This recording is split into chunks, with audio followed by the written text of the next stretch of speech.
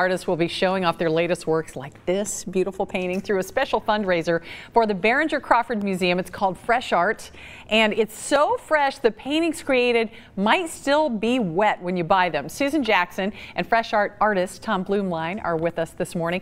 So kind of you to come in on Labor Day, both of you. Thank you so much, Susan Pleasure. and Tom. Oh, we're glad to be here. Well, Tom, first, why don't you tell me a little bit about your art? These paintings are beautiful. Well, these these are uh, impressionist type paintings, uh, honoring the tradition of well over hundred years of artists going out into nature and uh, and painting in plein air. Okay. Uh, you know, about three years ago, I participated in the world's largest gathering of plein air painters in Monterey, California. Oh, wow. How many of you were there? We were 700 of us, and Wow. I, I was a field instructor during the event, and uh, I, I started feeling bad because all these years here in Cincinnati, uh, Northern Kentucky, I hadn't participated at all in the fresh art. Oh, okay. And uh, Behringer has, Crawford has been a good friend of mine for many years. Oh, and, good. And uh, so I decided to do it last year, and so here I am again this year. So basically, what you're going to be doing on Saturday the 15th, you will be out in Devou Park Yeah. with other artists Yeah. Mhm. painting. And then, Susan, tell us about what happens that day and the next day.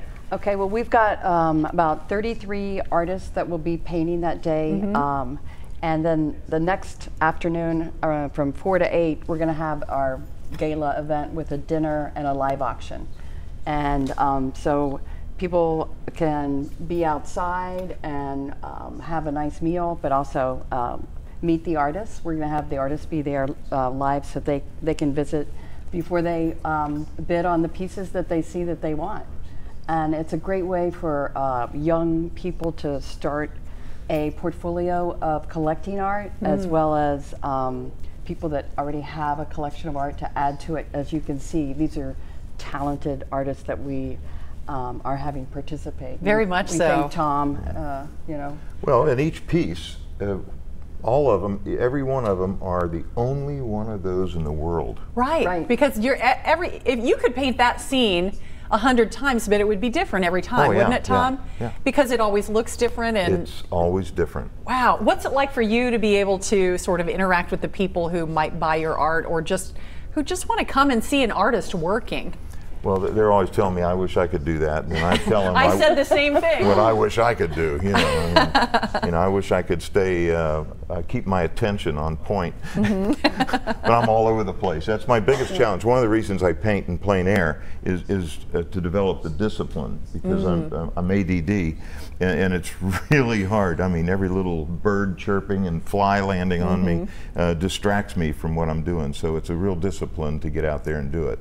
Well, it's Saturday the 15th, and I, and I understand that the museum is free that day for families Yes, too, right? You can uh, go and uh, find the artists in the park and watch them paint, but come back for Sunday for the event when you can bid on the work. Very good. Um, tickets are eighty dollars. Which is not much for a wonderful fundraiser, and you get dinner and, And the dinner, interaction with the um, artists Oh, and yeah. everything. But don't wait to get your tickets because you know we want to be able to plan for all those that are coming, and uh, the tickets are going now. Very So- good. Well, we've got the information on how to get tickets to Fresh Art on local12.com. But again, it's uh, the weekend of the 15th and 16th at Devou Park in the Behringer, Behringer Crawford Museum. Thank you both so much Thank for coming. you. It was really a pleasure. Thanks for pleasure. having for us. Having great. Now Thank here's you, Tara. From Local 12, the Weather Authority, this is Tara Blake's Hour by Hour forecast.